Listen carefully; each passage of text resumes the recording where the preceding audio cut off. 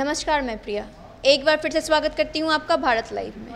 इस वक्त जो चुनावी माहौल जो बना हुआ है, इस वक्त सभी जो नेता हैं, वो जनसभाएँ कर रहे हैं, रैलियाँ कर रहे हैं और मंच से जो है अपनी बातें रख रहे हैं। लगातार हर पार्टी के जो नेता हैं, हर दिन बहुत सारी रैलियाँ कर रहे हैं बहुत सारी जगह पे जाके अलग अलग विधानसभा क्षेत्रों में जाके आ, कह सकते हैं कि रैलियाँ और जनसभा कर रहे हैं। जनता के बीच जा रहे हैं जनता की बातें जान रहे हैं और जनता के बीच में जो है अपनी बातें रख रहे हैं। इस बीच लगातार जो है तेजस्वी यादव भी जनसभाएँ कर रहे हैं नीतीश कुमार भी जनसभाएँ कर रहे हैं और अन्य पार्टी के जो नेता हैं वो भी जो है लगातार जनसभा जनसभाएँ कर रहे हैं और जनसभाओं पर जो उनका फोकस है वो लगातार ज़्यादा है। एक्चुअल रैली पे ज़्यादा फोकस है। वर्चुअल रैली के माध्यम उन्होंने नहीं चूज़ किए हैं अभी। जिस पर ज़ोर देना चाहिए तो शायद उस पर नहीं दिया गया। वो लगातार जो है अलग अलग विधानसभा क्षेत्रों में जा रहे हैं। हर दिन लगभग पाँच से छः विधानसभा क्षेत्र वो कवर वो लोग जो हैं कवर कर रहे हैं। क्योंकि चुनाव का जो डेट है, वो काफ़ी नज़दीक है। चुनाव जो है, काफ़ी बहुत जल्द होने वाला है। जैसे जैसे चुनाव के डेट नज़दीक आ रहे हैं वैसे वैसे हर दिन जो जनसभाओं की जो संख्या है, वो दिन, हर दिन बढ़ते जा रही है।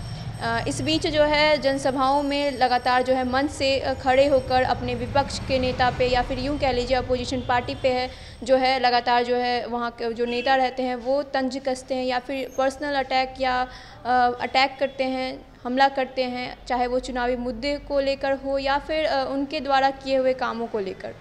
ये सारी बातें तो चलती ही रहती है। इस बीच जो है, नीतीश कुमार जो हैं, हमारे मुख्यमंत्री जो जदयू के प्रमुख हैं, उन्होंने जो तेजस्वी यादव पर सीधा निशाना साधा। इस बार जो उन्होंने पर्सनल अटैक किया पर्सनल अटैक करते हुए तेजस्वी यादव से जो है, कुछ ऐसे सवाल कर दिए जो पर्सनली जो है, उन्हें हार्म करेंगे। उन्होंने कहा कि लालू प्रसाद यादव और राबड़ी देवी के नाम पर जो है, वो इस वक्त राजनीति में उतरे हैं। उनके जगह पे उतरे हैं। इसके पहले बता दें आपको कि वो दिल्ली में कहाँ रहते थे, किसके साथ रहते थे, किसी को नहीं पता है। ये सारे सवाल जो है उन्होंने बीच मंच से जो खड़े होकर जो है तेजस्वी यादव पर सीधा निशाना साधा और जो, जब वार हुआ है तो पलटवार भी होगा। अब देखना यह है कि पलटवार में क्या रिप्लाई आता है, क्या रिप्लाई जो राजद की तरफ़ से आता है, क्या कुछ कहा जाता है, ये सारे अपडेट्स जो है हम आपके सामने लाएँगे। लेकिन आप देखिए ये वीडियो, उस वीडियो में उन्होंने क्या कुछ कहा है। हम थक गए हैं। कहा रहते थे जी? कहा भागे रहते थे यहाँ से? जरा बताओ, दिल्ली में किसके यहाँ रहते थे? जरा बताओ। बताना ना चाहिए, कहीं किसी को मालूम है कि कहाँ रहता था, क्या करता था? अब हम लोगों को क्या कहना है? अरे, अपने पिता और माता की जगह पर आने की कोशिश कोई कर रहा है? अरे क्या ये करेंगे? और कल मौका मिला, क्या किया? क्या चीज़ का ज्ञान है? किस चीज़ का अनुभव है? और हम लोगों ने चाहे केंद्र में रह करके काम किया, और जब आप लोगों ने यहाँ मौका दिया है तो यहाँ जो काम करने की कोशिश हम लोगों ने किया, अपराध पर नियंत्रण, जंगल राज कानून का राज कायम किया,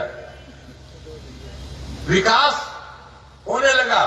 और विकास का दर कितना ठीक हो गया है बिहार का? प्रति वर्ष विकास का दर बिहार का बारह दशमलव आठ प्रतिशत है। बढ़ाएँ अपना कदम सक्सेस की ओर। शिखर करियर इंस्टीट्यूट के साथ। शिखर करियर इंस्टीट्यूट, पूर्वी भारत में एकमात्र कोचिंग संस्थान, जो एक्सक्लूसिवली है मेडिकल एंट्रेंस एग्ज़ाम के लिए।